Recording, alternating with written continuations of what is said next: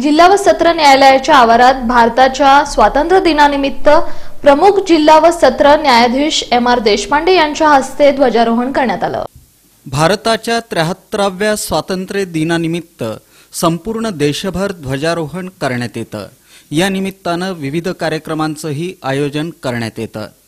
काश्मीर संदर्भातील कलम तीनशे सत्तर आणि पस्तीस अ हटवल्यानं या वर्षीच्या स्वातंत्र्य दिनाला विशेष महत्त्व आलं. दरम्यान सोलापूर जिल्हा व सत्र न्यायालयाच्या आवारात प्रमुख जिल्हा व सत्र न्यायाधीश एम आर देशपांडे यांच्या हस्ते आणि समस्त वकील मंडळी तसंच न्यायाधीशांच्या उपस्थितीत ध्वजारोहण करण्यात आलं.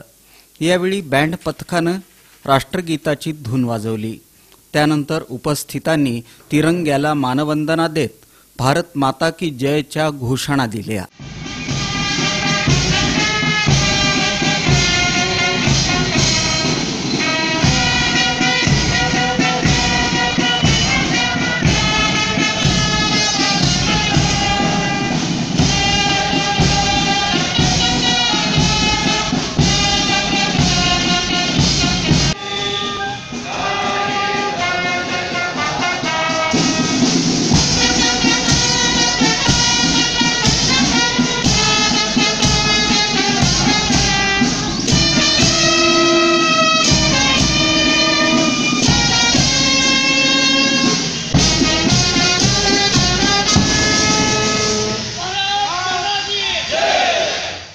यावेळी प्रमुख जिल्हा व सत्र न्यायाधीश एम आर देशपांडे यांना भेटून उपस्थितांनी स्वातंत्र्य दिनाच्या शुभेच्छा दिल्या.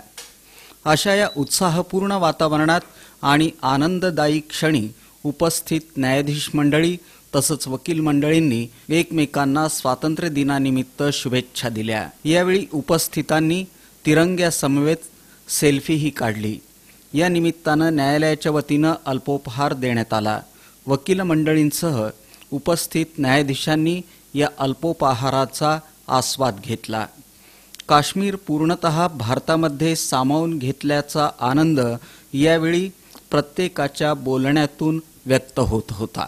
भारत महाशक्तीकडं प्रस्थान करत असून जगाच्या नकाशावर अति बलशाली देशाचं प्रतीक म्हणून भारताकडं पाहिलं जात आहे.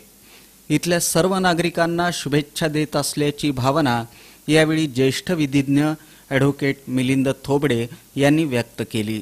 आज भारताचं नाव सुपर पॉवरच्या दिशेने वाटचाल करत आहे. देशामध्ये सुद्धा आपण पाहिलं तर गेल्या अनेक वर्षापासून जी प्रगती भारताने साधलेली आहे त्यामुळं समतोल साधण्याचा प्रयत्न या भारतामध्ये होत आहे.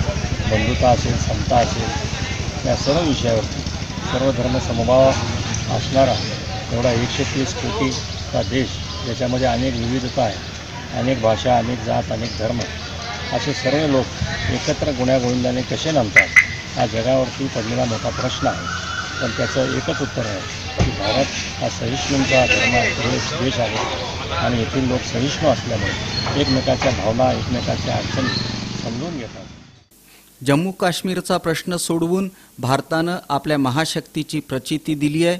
या देशाच्या त्र्याहत्तराव्या स्वातंत्र्य दिनानिमित्त शहरवासियांना शुभेच्छा देत असल्याची प्रतिक्रिया जिल्हा सरकारी वकील ॲडव्होकेट प्रदीप सिंग राजपूत यांनी व्यक्त केली.